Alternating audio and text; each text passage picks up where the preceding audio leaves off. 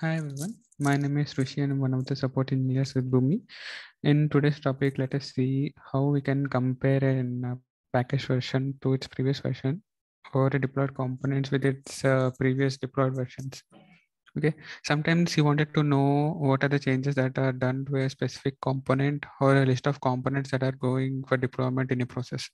So the easy and uh, best feature that Boomi offers is to yeah go to this uh, deployments tab or package components uh, tab.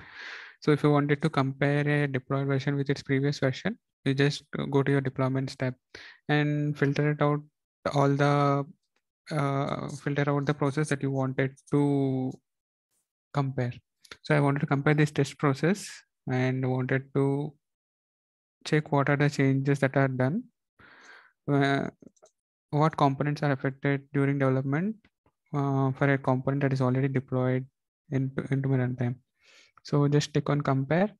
So 5.0 is my deployed version, and this is the latest revision in my development. So in this way, you will be able to know all the list of components that are going as part of this version, and mm, you will always be able to identify what changes are done to a specific component. So you just need to click on with with changes. So this filters out all the components that has that are modified like 32 to 34 and you and you'll also have the list of components that are not touched during the development uh, after the deployment. I mean during the deployment. So uh, th this is one thing. And you can also compare uh, the deployed version with its previous version just in case you want to troubleshoot some issues.